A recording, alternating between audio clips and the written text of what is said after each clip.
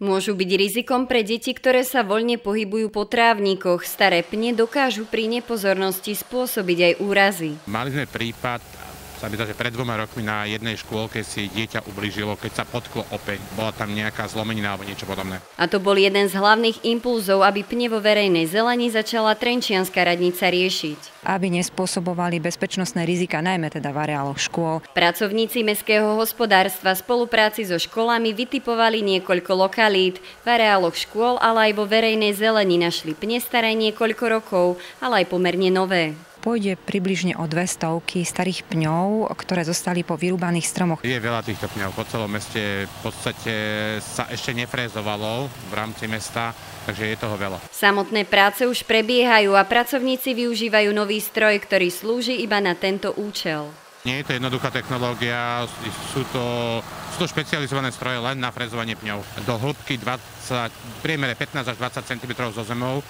po odfrezovaní vznikne taká malá kôpka na vrchu. Následne bude ten priestor, kde boli tie pne, zarovnaný s okolitým terénom, aby nepredstavovali žiadnu prekážku, či už pre deti hrajúce sa, alebo teda pre ľudí, ktorí sa po verejnej zelení pohybujú. Vysúťažená suma za frezovanie pňov je 11 650 eur a práce by mali byť hotové do konca augusta.